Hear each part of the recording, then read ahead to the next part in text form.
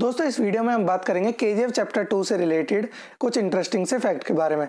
दोस्तों, आज जो है इसका टीजर रिलीज़ हो गया। अब तक तो खैर आप सभी ने देख लिया होगा। पर्सनली बताऊँ तो मैंने भी देख लिया है। मुझे जो इसका टीजर है, बहुत ही अच्छा लगा।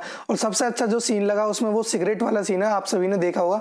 जब वो मशीन गन जो अपनी सेट्स होती है, उनको फायर कर देती है और जो उसका साइलेंसर है, वो रेड हॉट हो जाता है।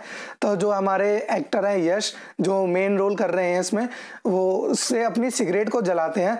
मुझे वो सीन सबसे बढ़िया लगा। आपको कैसा लगा? कमेंट सेक्शन में बताइए। दोस्तों, अब बात कर लेते हैं मूवी से जुड़े कुछ इंटरेस्टिंग से फैक्ट के बारे में।